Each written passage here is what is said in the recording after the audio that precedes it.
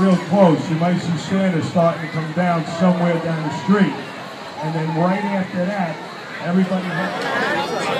everybody...